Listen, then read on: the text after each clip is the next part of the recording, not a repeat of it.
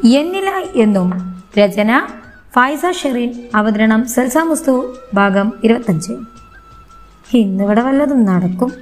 ഓന്റെ ഇലി കണ്ടിട്ട് ഓന്റെ മുഖത്ത് നോക്കി തന്നെ ഒന്ന് മോൾ പുച്ഛിച്ചുകൊണ്ട് മുഖം തിരിച്ചു. ഡോ താനാ ചോക്ലേറ്റ് എടുത്തോ? നമ്മൾ കുറച്ച് സീരിയസ് ആയി പറഞ്ഞപ്പം ലവൻ അതെടുത്ത് നമ്മളെ കയ്യിൽ തന്നു. നമ്മളതുകൊണ്ട് തിരിഞ്ഞതും നമ്മളെ തൊട്ട് ബാക്കിൽ ആ കോന്തം വന്ന് നിൽക്കുന്നുണ്ട്. നമ്മളൊന്ന് ഞെട്ടി പിറകോട്ട് പോയി. പിന്നെ അവനെ രൂക്ഷമായി നോക്കിയിട്ട് നമ്മളെ നോക്കി വിളിക്കുന്ന ആ ഡയറി മിൽക്കിനെ മനസ്സില്ലാ മനസ്സോടെ മോന്റെ നേരെ നീട്ടി. തെണ്ടി പോക്കർ നമ്മളെ വീക്ക്നെസ് തൊട്ട അവന്റെ കൊളി നമ്മൾ മാന്യമര്യാദക്ക് നീട്ടിയപ്പം ഓൻ വാങ്ങാതെ കയ്യും കെട്ടി നമ്മളെ നോക്കിക്കൊണ്ട് തലയാട്ടി കളിക്കുക അത് കണ്ടപ്പോൾ നമുക്ക് ദേഷ്യം വന്നു. നമ്മൾ ഒന്നുകൂടെ അവന്റെ നേരെ നീട്ടി. ഹിക്കാന്റെ മുത്തെടുത്തോ ഇക്ക സ്നേഹത്തോടെ വാങ്ങി തന്നതല്ലേ? അതും കൂടി കേട്ടപ്പോൾ നമുക്ക് കലിപ്പ് ഏത് വഴിയോ കയറിയെന്ന് ഒരു ഐഡിയ ഇല്ല. ഹിക്ക കൊക്ക. ഇവിടെ ഒരു ഭയങ്കര കിണിയാണ്. നിനക്ക് ഞാൻ വെച്ചിട്ടുണ്ട്. ബ്ലഡി ചങ്ക് നമ്മൾ ദേഷ്യത്തിൽ അവന്റെ കൈ വലിച്ചിട്ട് അതിലേക്ക് ആ ഡയറി മിൽക്ക് അങ്ങോട്ട് വെച്ചു കൊടുത്തു. എന്നിട്ട് ഓനെ മോന്തി വീർപ്പിച്ച് രൂക്ഷമായി ഒന്ന് നോക്കിയിട്ട് നമ്മൾ ഇപ്പൂന്റെ കൈയും പിടിച്ച് പുറത്തേക്ക് നടന്നു. ഡി വിട് ഒന്ന് മെല്ലെ പിടിക്കൊക്കെ. നമ്മൾ പുറത്തേക്ക് നടക്കുമ്പോൾ ഇപ്പൊ പറയുന്നത് കേട്ടപ്പോൾ നമ്മൾ പിടുത്തൊന്നുകൂടെ മുറുക്കി. അല്ല പിന്നെ ചുമ്മാ അവിടെ നിന്ന് ചിരിച്ചതല്ലേ. നമ്മൾ വണ്ടിയുടെ മുന്നിലെത്തിയപ്പം ഓളെ കൈവിട്ടു. എന്നിട്ട് വണ്ടിയിൽ കയറി. ഓളെ ഒരു നോട്ടം നോക്കിയപ്പം ഓളും കയറി. നമുക്ക് നല്ലോണം ദേഷ്യം വരുന്നുണ്ടായിരുന്നു. വരങ്ങൻ ഇഷ്ടമില്ലെന്ന് പറഞ്ഞതല്ലേ ഞാൻ? എന്നിട്ട് പഞ്ചറടിച്ച് വന്നേക്കുന്നു. ഓന്റെ കലിപ്പൊക്കെ എവിടെ പോയാവോ? അത് മുഴുവൻ എനിക്ക് കിട്ടിയെന്ന് തോന്നുന്നു. നല്ലോണം ദേഷ്യം വരുന്നുണ്ട്. നമ്മൾ സ്പീഡ് വിടുമ്പോഴാണ് പെട്ടെന്ന് സൈഡിലുള്ള റോഡിൽ കൂടി ഓന്റെ ബുള്ളറ്റ് വന്ന് നമ്മളെ മുന്നിൽ നിർത്തിയത്. നമ്മൾ പെട്ടെന്ന് ബ്രേക്ക് ഇട്ടത് കൊണ്ട് രക്ഷപ്പെട്ടു. അല്ലെങ്കിൽ ഇപ്പോൾ പള്ളിക്കാട്ടിലെത്തിയേനെ. നമ്മൾ ആ ദേഷ്യത്തിൽ ഓനെ നോക്കി. ഒന്ന് മെല്ലെ നോക്ക് പെണ്ണേ. ആ കൊണ്ടിപ്പോൾ പുറത്തിയാടും. നീ എന്താടാ മനുഷ്യരെ കൊല്ലാൻ വേണ്ടി ഇറങ്ങിയതാണോ? അതെയല്ലോ. സ്നേഹിച്ച് കൊല്ലാൻ. നമ്മൾ ദേഷ്യത്തിൽ ഓനെ നോക്കിയപ്പോൾ അവൻ ചിരിച്ചുകൊണ്ട് ഇറങ്ങി വന്നു. ആ ചിരിയൊക്കെ കാണാൻ അടാർ ലുക്കാണേലും ഈ സ്വഭാവം. ഓമ്മൾ അടുത്ത് വന്നു നിന്ന് വീണ്ടും ആ ഡയറി മിൽക്ക് നേരെ നീട്ടി. നീ എന്താ പെണ്ണിത് എന്റെ തന്നിട്ട് പോയേ? വേണ്ടാഞ്ഞിട്ട്. അതെന്താടോ? ഇക്ക സ്നേഹത്തോടെ വാങ്ങിച്ചെന്നതല്ലേ നീ ഇങ്ങോട്ട് ഇറങ്ങി. അജു നീ ദേഷ്യം പിടിപ്പിക്കാതെ ഒന്ന് പോ പ്ലീസ് ദേഷ്യം പിടിക്കുമ്പോൾ നിന്റെ കവിളൊക്കെ ചുവന്ന് വരുന്നത് കാണാൻ നല്ല മൊഞ്ച പെണ്ണേ. ഇവനെന്ന് ഞാൻ മിക്കവാറും എന്റെ മയ്യത്തെ എന്നെ കൊണ്ടാകും ഉറങ്ങൻ. ഞാൻ ഉറങ്ങാൻ പറഞ്ഞപ്പോൾ തന്നെ ആ തെണ്ടി ഇപ്പോൾ ഇറങ്ങിയിട്ടുണ്ട്. ഓൾ ഓനെ രൂക്ഷമായി നോക്കി. അവിടെ തന്നെ ഇരുന്നപ്പോൾ ഓ പെട്ടെന്ന് കീയെടുത്ത് എന്റെ കയ്യിലാക്കി. ഓന്റെ കയ്യിലാക്കി. ആലവരാതെ ഇളിച്ചുകൊണ്ട് അത് വിരലിട്ട് കറക്കുക ദുഷ്ടൻ. ഡാ അതിങ്ങോട്ട് തായോ? തരൂല. നീ എന്റെ കൂടെ പായോ നമുക്കൊരു സ്ഥലം വരെ പോവാം. അപ്പം ഞാനോ? നമ്മളിവിടെ കൽപ്പി നിൽക്കുമ്പോഴാണ് ഇപ്പുന്റെ അടുപ്പിലെ ചോദ്യം. എനിക്ക് ഡ്രൈവിംഗ് അറിഞ്ഞൂടാ. ആശയനോട് വരാൻ പറഞ്ഞിട്ടുണ്ട്. ഇനി എന്റെ പെണ്ണൊന്ന് ഇറങ്ങി. എന്നും പറഞ്ഞ് ഓ നമ്മളെ കയ്യിൽ കയറി പിടിച്ചപ്പോൾ നമ്മൾ തട്ടി മാറ്റി ഇറങ്ങി. അതെ എനിക്കിടുന്ന് ഓട്ടോ വിളിച്ചു വിട്ടാൽ പോകാൻ അറിയാം എന്നും പറഞ്ഞ് ഓനെ ഒന്ന് തർപ്പിച്ച് നോക്കി. നമ്മൾ വേഗത്തിൽ മുന്നോട്ട് നടന്നു. കുറച്ച് മുന്നോട്ട് പോയതും ഓമളെ കൈ പിടിച്ച് വലിച്ച് ചേർത്ത് നിർത്തി. ഓനുമ്മളെ നമ്മളെ കൂടെ വന്നിരുന്നു.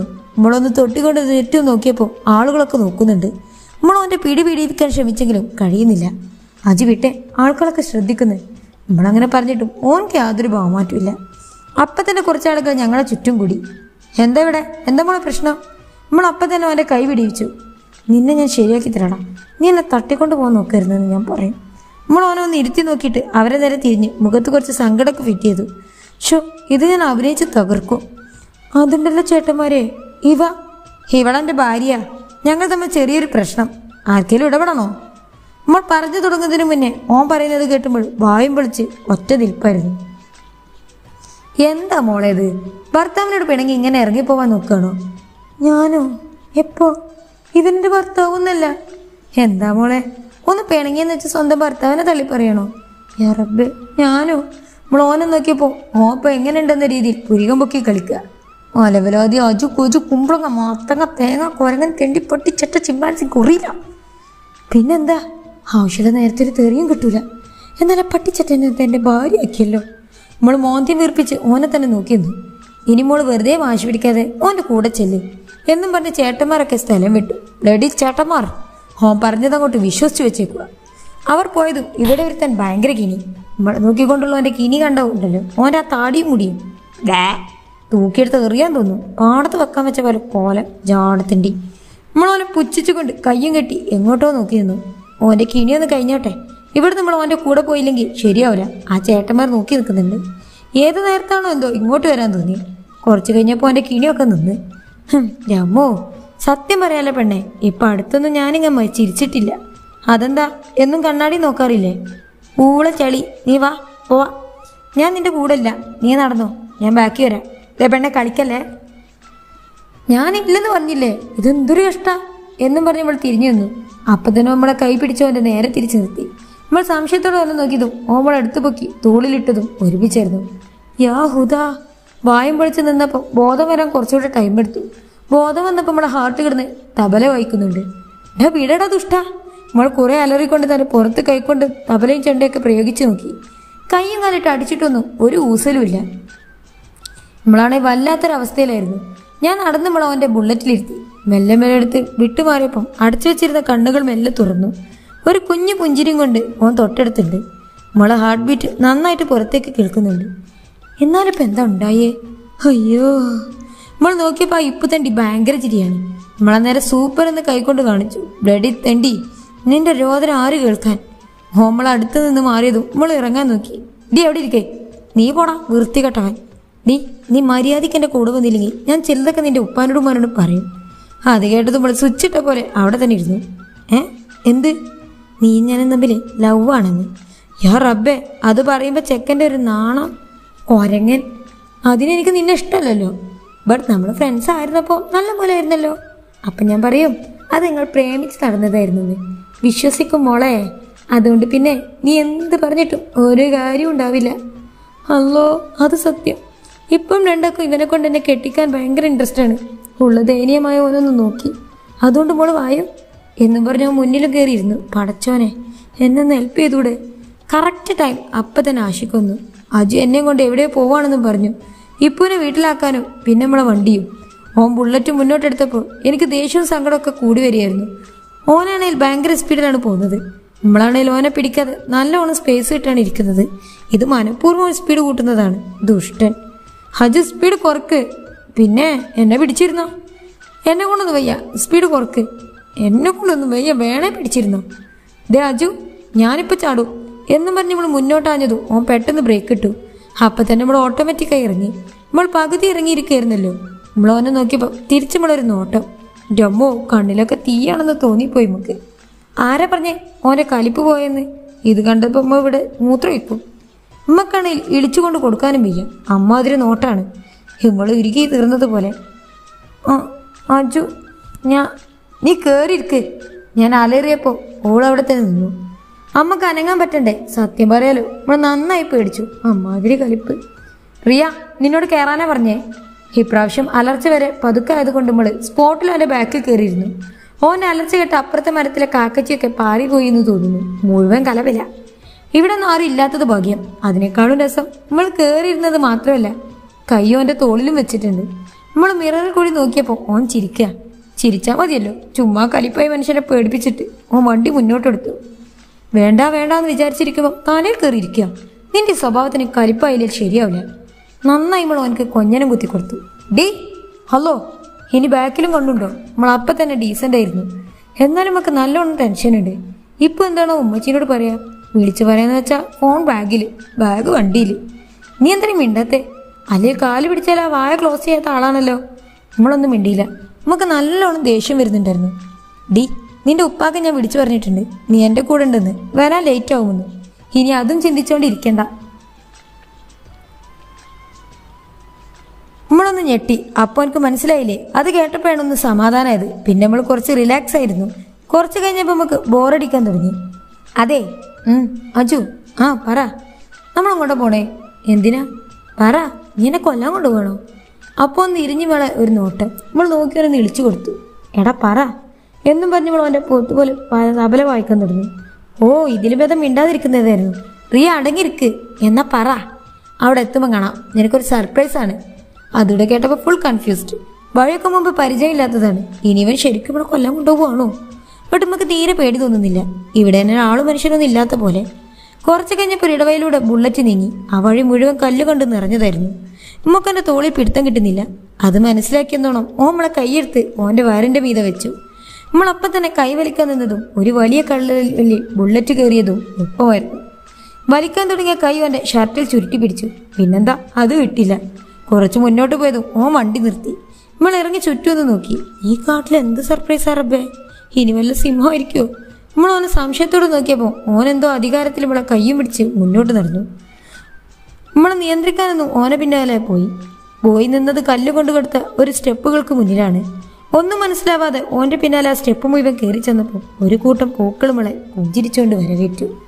ഒരു കുഞ്ഞു ഗേറ്റ് അത് തുറന്ന് അകത്ത് കയറിയപ്പോൾ പൂന്തോട്ടം.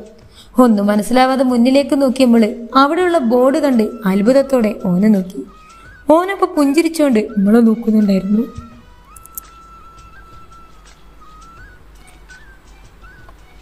ഓനപ്പോൾ നമ്മൾ ഒന്നുകൂടെ ആ ബോർഡിൽ നോക്കി വായിച്ചു. സ്നേഹ വീട് ഓർഫനേജ്.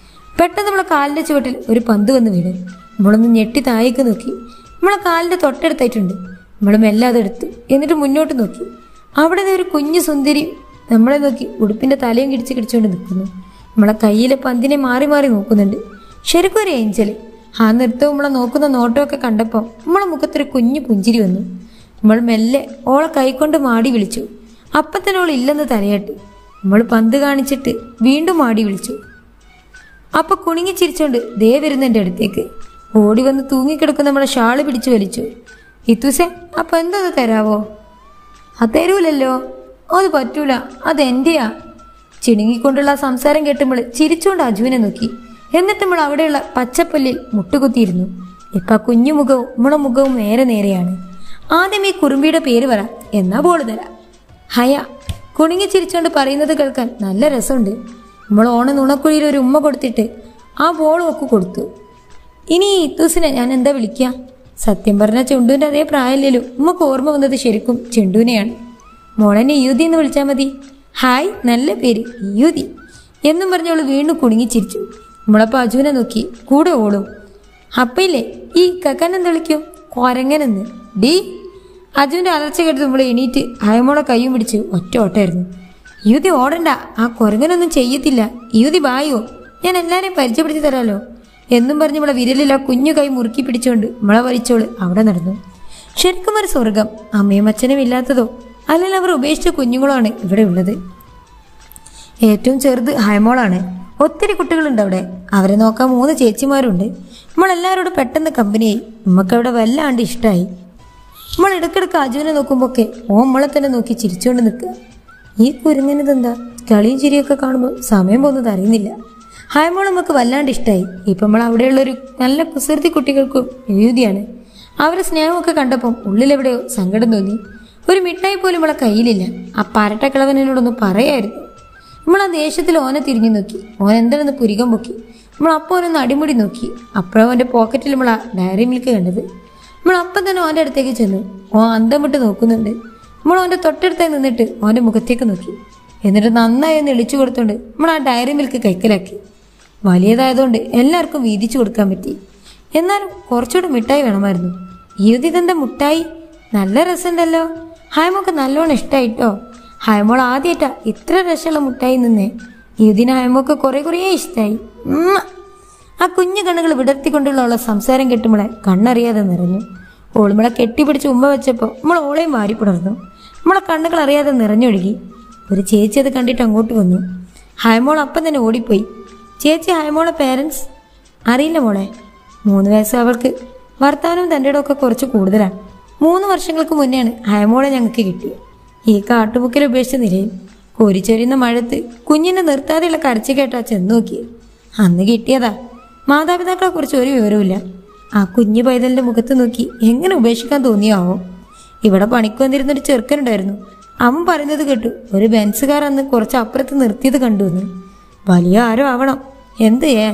ഇതുവരെ അവൾ അന്വേഷണം ആരും വന്നിട്ടില്ല. ഇടക്കിടക്ക് ചോദിക്കും ഉമ്മ എവിടെ? ഉപ്പ എവിടെ എന്ന് നാളെ വരും മറ്റന്നാൾ വരും എന്ന് പറഞ്ഞ് ഞങ്ങൾ അത്രയേ അത്രയും പറഞ്ഞ് ചേച്ചി കണ്ണു തുടച്ചപ്പോൾ നമ്മളെ കണ്ണുകൾ നിറഞ്ഞൊഴുകി അല്ല ചേച്ചി ഹൈമൾ മുസ്ലിമാണെന്ന്? കുഞ്ഞിന്റെ അടുത്ത് നിന്ന് കിട്ടിയ. അന്നാന്ന് എരിയ ലോക്കറ്റ് കണ്ടപ്പോഴേ മുസ്ലിമാണെന്ന് മനസ്സിലായി. ഉം. ഉമ്മക്കൊന്ന് ചിരിച്ചു തന്നിട്ട് ചേച്ചി പോയി. എമ്മക്ക് ശരിക്കും പറഞ്ഞ നല്ലോണം സങ്കടമായി പോണ്ടേ? പെട്ടെന്ന് ബാക്കിൽ അജുവിന്റെ സൗണ്ട് കേട്ടപ്പം നമ്മൾ ഞെട്ടിത്തിരിഞ്ഞു. ടൈം കുറേയായി. വായോ? ഉമ്മക്ക് അവിടുന്ന് പോരാൻ തോന്നുന്നില്ല. എല്ലാവരോടും പോവാണെന്ന് പറഞ്ഞപ്പോൾ മുഖം വാടി. ഹയമോക്കാണ് കൂടുതൽ സങ്കടം.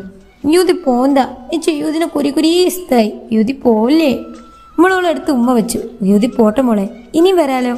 ഇനി വരുമ്പം യൂതി മുക്ക് കുറേ മുട്ടായിയൊക്കെ വരാട്ടോ? അത് പറഞ്ഞപ്പോൾ കുറച്ച് സന്തോഷമൊക്കെ ആയിട്ടുണ്ട്. അങ്ങനെ നമ്മൾ എല്ലാവർക്കും ടാറ്റയൊക്കെ കൊടുത്ത് പുറത്തിറങ്ങിയപ്പോൾ അജുണ്ട് ചിരിച്ചുകൊണ്ട് നിൽക്കുന്നു. ശരിക്കും പറഞ്ഞാൽ നമുക്ക് കുറച്ച് ബഹുമാനമൊക്കെ തോന്നി. എന്റെ ഇഷ്ടങ്ങളൊക്കെ മനസ്സിലാക്കുന്നുണ്ട്. നമ്മൾ ചിരിച്ചുകൊണ്ട് എന്റെ അടുത്തേക്ക് ചെന്നു. എന്നാ പറ? എന്ത്? ഐ ലവ് യു എന്ന് അയ്യടാ. അവന്റെ നെഞ്ചിനിട്ടൊരു കുത്തു കൊടുത്ത് നമ്മൾ മുന്നിൽ നടന്നു. പിന്നാലെ ചിരിച്ചോണ്ട് ഓനും വന്നു. ഇരുട്ടി തുടങ്ങിയിരുന്നു. നല്ല നിലാവും അടിപൊളി കാറ്റും. വന്നപ്പോഴുള്ള പോലെ തന്നെ റോഡിലൊന്നും ആരുമില്ല. നമ്മൾ ശരിക്കും എൻജോയ് ചെയ്തു. ഡി ആ നിനക്ക് വല്ലത് വേണോ? എന്ത്? കുന്തം. കുന്തോ? അത് ലുട്ടാപ്പിയപ്പയെ നിനക്ക് തന്നിന്. ഇന്ന് രാത്രി പന്ത്രണ്ട് പത്തേ പന്ത്രണ്ടിന്. ആണോ? എന്നിട്ട് എന്നോട് പറഞ്ഞില്ല. ആടി നിന്നോട് പറയണ്ടെന്ന് ഞാൻ പറഞ്ഞാ. മോശമായിപ്പോയി ഓലക്ക നോ താങ്ക്സ് എടി നിനക്ക് കഴിക്കാൻ എന്തെങ്കിലും വേണോ? അതിനിവിടെ ടൗണിൽ പോവാം. വേണ്ട. പിന്നെ ദേ അജ് നോക്ക് ഒരു തട്ടുകട. അതൊന്നും വേണ്ട. നിനക്ക് വേണ്ട വേണ്ട. ഞാൻ ഇവിടുന്ന് കേൾക്കും. വണ്ടി നിർത്ത്. അല്ല പിന്നെ. അവനക്ക് ഫുൾ ഫൈവ് സ്റ്റാർ ഹോട്ടൽ ബ്ലാ ജാടത്തിന്റെ. നമ്മൾ നിർബന്ധിച്ചു അവനെ കൂട്ടിക്കയറി അവന്റെ മോന്ത കണ്ടാലറിയാം അത്ര ഇഷ്ടമായിട്ടില്ലെന്ന് നമ്മൾ ഏതായാലും നല്ലോണം ആസ്വദിച്ച് കഴിച്ചു. വയറ് നിറപ്പം യാത്ര കുറച്ചുകൂടെ എൻജോയ്മെന്റ് ആയ പോലെ. അങ്ങനെ അറ്റ് ലാസ്റ്റ് നമ്മളെ വീടിന്റെ മുന്നിലെത്തി. നമ്മൾ ഇറങ്ങി ഡി ഇനിയെങ്കിലും പറയടി. ഓടെ കുറങ്ങ. എന്നും വിളിച്ച് നമ്മൾ ഗേറ്റ് തുറന്നു ഓടി മുന്നിൽ തന്നെ ഉണ്ട് ഉമ്മച്ചിയും ഉപ്പച്ചിയും. ഉപ്പച്ചീന്റെ മുഖത്ത് പ്രത്യേകിച്ച് ഭാവമാറ്റമൊന്നുമില്ല. ബട്ട് ഉമ്മച്ചിന്റെ മുഖം കണ്ടാൽ മനസ്സിലാവും ഇന്നിവിടെ ഒരു ബദർ നടക്കുന്നു.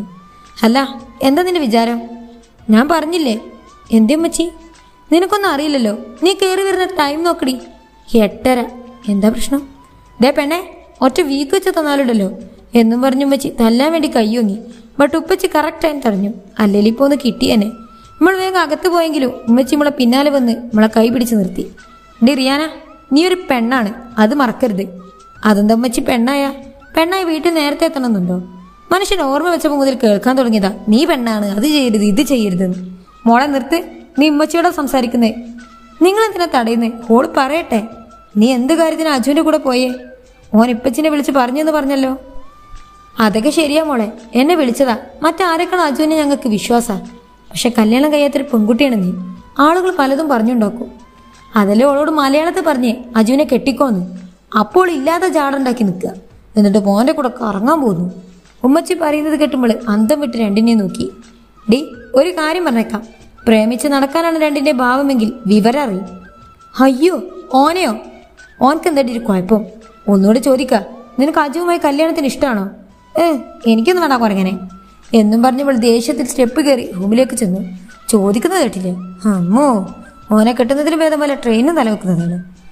പിന്നെ അന്ന് ഹയമോളെ കുറിച്ച് ആലോചിച്ച് ടൈം തള്ളി നിൽക്കി പിറ്റേന്ന് ഫുൾ ബോറിംഗ് ആയിരുന്നു. ശരിക്കും കോളേജ് മിസ് ചെയ്തു.